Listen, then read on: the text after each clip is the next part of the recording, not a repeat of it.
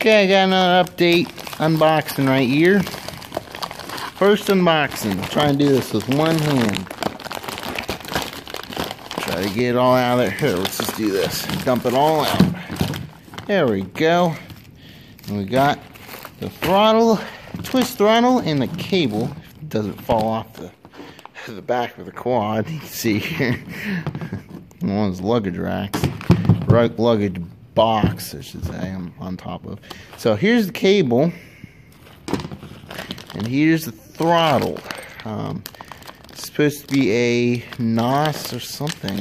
NOS is supposed to be like a Japanese brand. You can see there. It's supposed to be NOS, I believe. I don't know. But that is the twist throttle. It's supposed to be antique, like back in the 70s. Made in Japan. Um, I'm not sure about the cable, but I think the twist throttle is.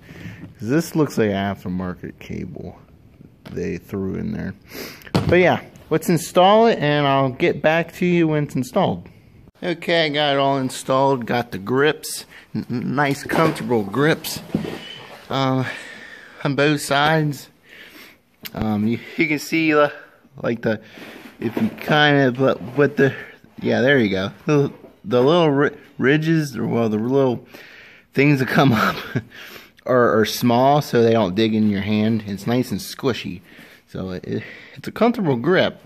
And um and the the the squeeze throttle or the the twist throttle squeeze throttle. Twist throttle is nice and tight so it's not all loose like those Chinese ones I have on my three wheeler over there. Uh, Chinese ones they make nowadays are just all loose and clunkety and probably not safe either. But these are nice and tight, comfortable, um, vintage vintage throttle.